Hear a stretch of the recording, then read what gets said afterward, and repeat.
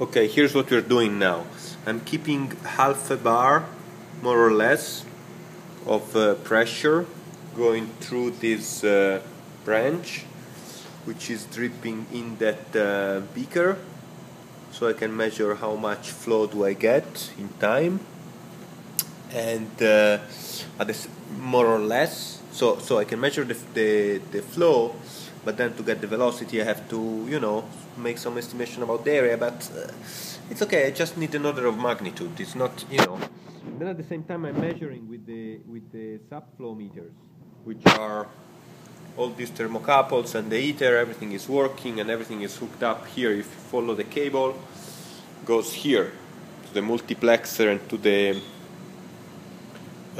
data logger that I borrowed from from a friend of mine, and this belongs to another professor and uh, I'm trying. I'm, I'm, I'm Frankensteining everything together, and uh, kind of works.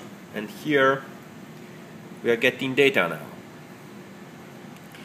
Um, here we are getting data. It was uh, you see it's opening the door again. It's opening the door. Probably now it's gonna open port number five, I think, at a certain point. Uh, or maybe it opened it already. Anyway it's it's scanning again. It's scanning again. Uh, I don't know what it's doing now but you see it opens port 1 it's doing something. It's telling us something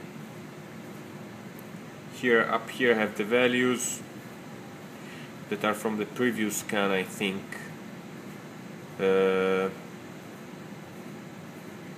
what the fuck is this? Ooh, whoops. Whoops. Sorry, guys. Anyway, we are happy. We'll, we'll have data soon. From University of California, Davis, Gerardo Spinelli.